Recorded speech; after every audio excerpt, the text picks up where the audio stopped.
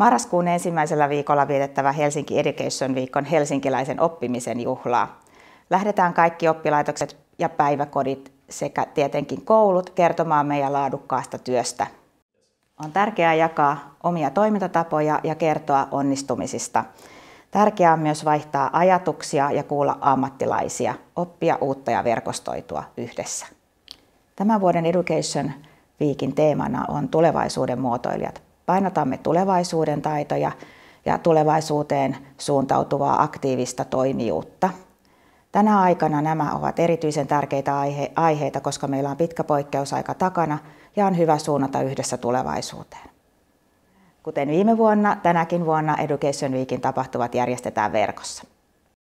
Kutsun teidät mukaan Education Weekiin yhdessä muotoilemaan tulevaisuutta. Kerro, mitä tulevaisuuden taitoja sinusta tarvitaan ja miten niitä voit yhdessä muiden kanssa kehittää.